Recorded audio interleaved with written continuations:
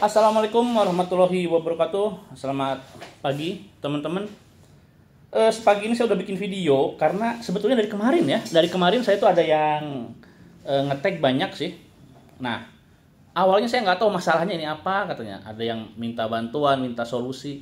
Ternyata ya, ternyata eh, efek pertandingan antara Persib dan Persis berimbas juga tuh sampai hal-hal luar lapangan ya.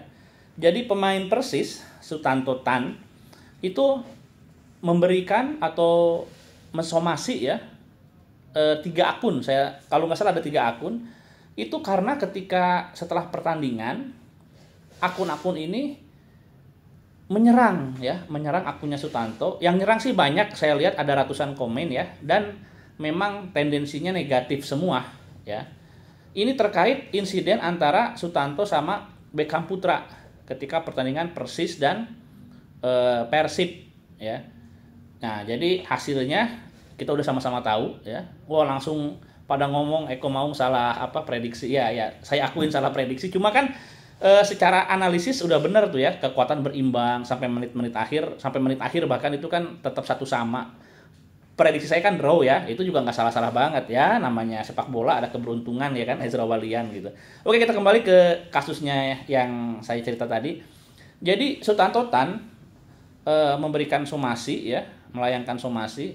Jika pemilik ketiga akun ini tidak minta maaf maka akan diproses secara hukum gitu loh.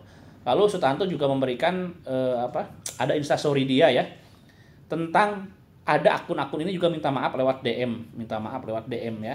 Tapi ternyata Sutanto pinginnya secara langsung. Mungkin pingin ngasih pelajaran ya.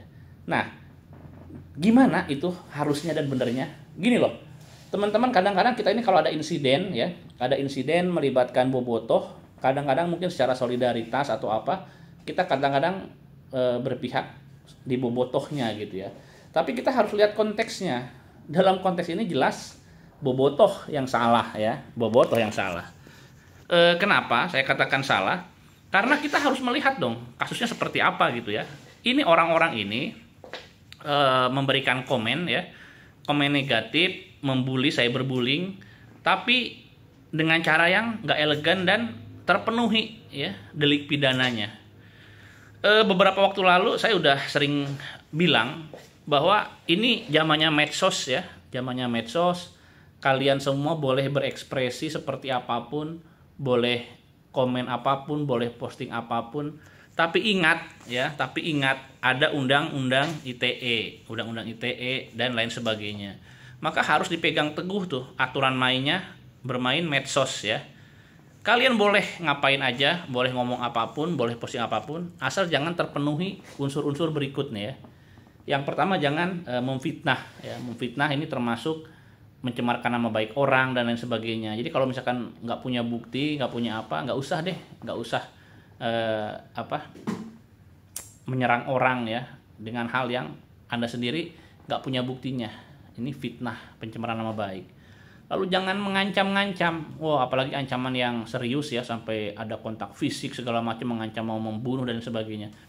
Kasusnya salah seorang apa drummer terkenal di Indonesia ini gara-gara ini gitu ya kemarin Lalu yang ketiga tentu saja jangan sara ya teman-teman, jangan sara. Nah jangan sara.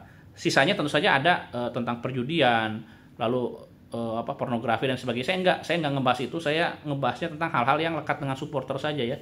Tiga hal ini nih, memfitnah, termasuk menuduh ya. Wah disogok, kalau enggak nerima apa e, uang suap. Nah itu juga kalau misalkan orangnya enggak apa keberatan, anda bisa kena itu ya. Jadi tadi apa? Tiga hal itu jangan memfitnah ya ya pencemaran nama baik gitu sama lah. Jangan mengancam-ngancam dan jangan sara. Sara ini saya katakan juga termasuk e, kategori ke head speech ya head speech. Jadi revisi undang-undang ITE dilakukan. Itu karena tuntutan katanya biar lebih demokratis. Tapi ternyata untuk head speech ujaran kebencian itu tetap ya ancamannya sama. Sekian tahun saya lupa lagi tuh sama apa dendanya. Bukan denda ini udah pidana serius ya jadi ada jadi gini nih kalau misalkan ada pidana-pidana yang ancaman pidananya di atas lima tahun itu anda bisa langsung ditangkap ya tanpa proses-proses bertele-tele anda bisa langsung ditahan itu nah itu hati-hati ya teman-teman. Nah yang Sutanto ini gimana? Ya ini hak Sutanto dong ya. Hak Sutanto Tan sebagai warga negara yang dilindungi oleh undang-undang. Dia mau melaporkan lalu apakah dia nanti mau ngasih apa apa per, mau ngasih e, maaf ya pemberian maaf dan sebagainya terserah dia. Tapi yang jelas dalam hal ini ya bobotoh ya bobotoh yang salah. Saya kenapa saya bilang bobotoh? Karena ketiga-tiganya ini bobotoh ini jelas ya. Nggak perlu diperdebatkan nggak perlu disebut lagi oknum. Tiga-tiga ini ya pendukung persib gitu loh. Ini semoga jadi e, pelajaran ya. Lalu di mana e, apa kami ya bisa membantu gitu teman-temannya. Maksudnya teman-teman itu bukan teman dekat. Ya kita gitu kita semua bisa membantu. Ya inilah apa kalian cobalah DM Sutantonya Kang tolong maafin. Ya maksudnya maafin aja kasihan atau apa ya terserah ya. Tapi tetap saja eh, kita melihat sisi korban ya. Jadi dalam hal ini Bobotoh bukan korban korbannya Sutanto ya. Bobotoh lah pelakunya. Nah ini harus diperhatikan juga. Jadi kalau kata kita itu sepele oh sepele apa? Menurut Sutanto itu nggak sepele ya itu serius ya. Terserah Sutanto menyikapinya gimana gitu ya. Jadi jangan jangan kalian itu menganggap hal-hal itu sesuai dengan persepsi kalian ya. Jangan menyamakan keadaan orang lain dengan keadaan atau pemikiran kita.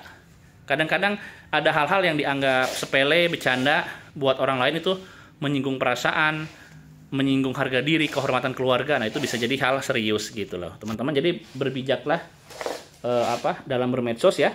Sutanto kan memberikan ultimatum tuh sekian jam, saya nggak tahu mungkin hari ini ya. Nah, kalau hari ini ternyata Sutanto memberikan apa maaf sama akun-akun tersebut. Ya alhamdulillah ya. Tapi kalau misalkan Sutanto mau lanjut ya itu hak dia sebagai warga negara. Gitu loh teman-teman.